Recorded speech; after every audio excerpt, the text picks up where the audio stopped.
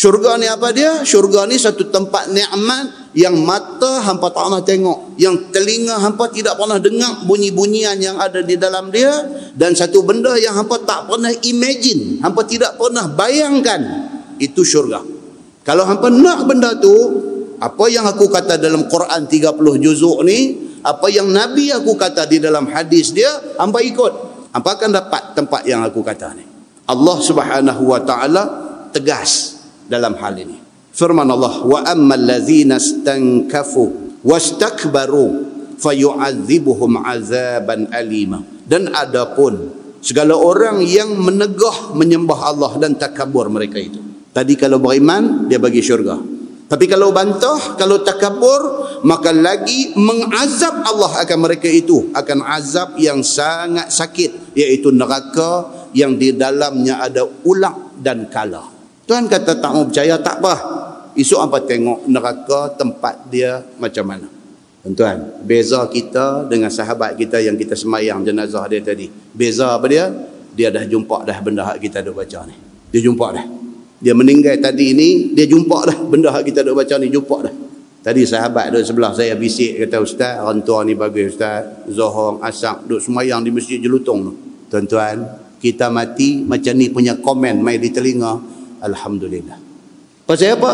Komen tu Imam Nawawi kata adalah sesuatu yang dicampak Allah ke dalam hati orang yang nak kata.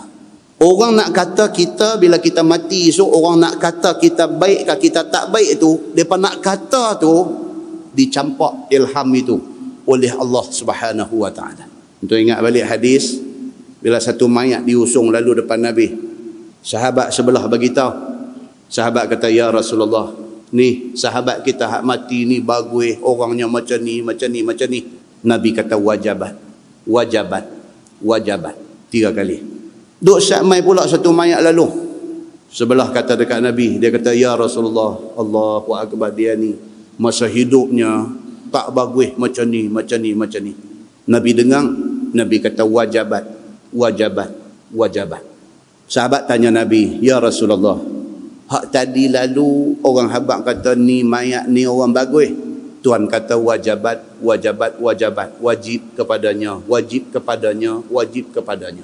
Mai mayat kedua orang habak kata dia ni cukup problem punya orang. Tuhan kata wajabat, wajabat, wajib, wajib kepadanya, wajib kepada apa hal ni? Nabi kata barang siapa mati dan orang yang hidup ni puji dia kata bagus, wajib kepadanya syurga. Nabi kata.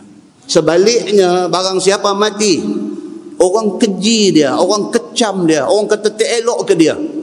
Nabi kata wajib kepadanya neraka. Wal billah. Dalam nak menghuraikan maksud hadis ini, Imam Nawawi rahimahullahu taala kata apa? Dia kata hadis ini nak cerita kepada kita kata sebutan orang yang spontaneously secara spontan, secara tiba-tiba, secara tidak rancang disebut oleh orang kata dia ni bagus. Itu ilham yang dicampak Allah ke dalam hati orang ramai. Kalau kita orang baik, kita mati terkeluar terbit di mulut orang ramai ni. Allahu akbar, bagus orangnya. Itu tu nak keluar tu Allah campak ke dalam hati dia. Dia terbit keluar di mulut dia. Tuan-tuan, kalau kita baik sungguh, semua orang akan kata kita baik. Tapi kalau orang duk kecam kita, ada masalah dengan kita ni. Muslimin dan muslimat yang dirahmati Allah sekalian. Beza dia sahabat kita tadi dengan kita apa dia? Dia dah mendahului kita melihat janji Allah Subhanahu wa taala. Dia nampak dah tadi ni, dia nampak dah tadi ni malaikat mai jumpa dia dengan pakaian serba putih. Dia dengar dah tadi ni masa nak mati tadi dengar dah di telinga dia ni sebut ya ayyatuhan nafsul mutmainnah irji'i ila rabbiki radiyatan mardiyah. Wahai jiwa-jiwa yang tenang, baliklah engkau menghadap Allah dalam keadaan engkau redha dan Allah redha kepada engkau. Dia dengar dah benda tu tadi.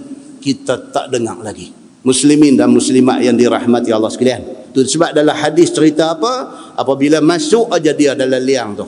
Masuk aja malaikat mai jumpa dia. Selepas dia melalui cerita muka dan nakir ni semua ni. Dalam hadis kata apa?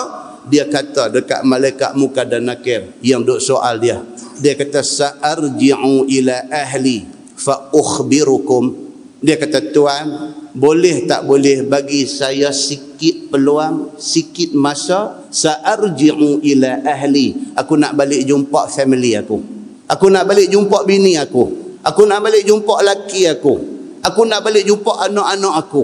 Aku nak balik jumpa orang yang aku sayang di atas dunia dulu sa'ukhbirukum aku nak habang kat depa kata hak aku duk dengar di masjid tu betul dia minta ni dekat malaikat muka nakir ni minta nak balik sat aja, nak balik main nak habang kat bini dia. Dia kata hang jangan main-main dengan hal agama ni. Sungguh hak depa duk habang tu, abang tengok dah tadi. Dia balik nak habang kat anak dia ni. Dia kata abang, abang duk buat tak mau bangkit semayang subuh abang, ayah nak abang. Betul hak depa duk habang ni. Abang jangan dah duk buat benda ni. Dia nak habang yang tu.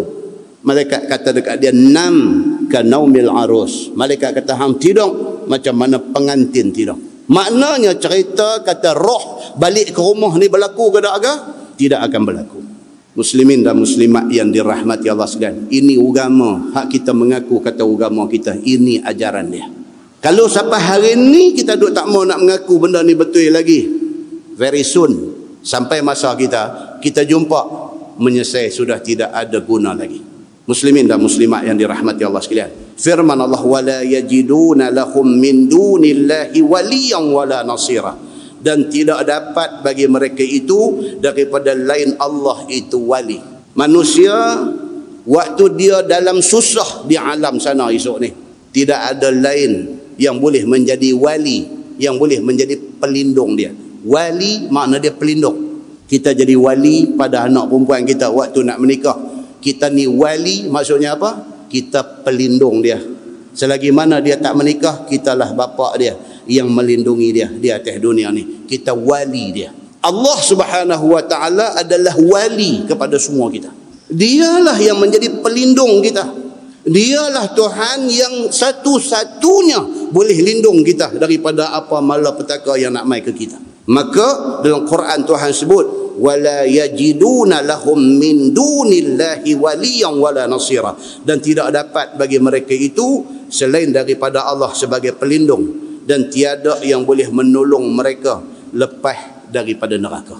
Duk di mahsyar tuan sahabat dalam neraka lah. Di mahsyar tu duk cari dah siapa boleh tolong. Yang boleh tolong kita Allah Subhanahu wa taala. Tidak ada lain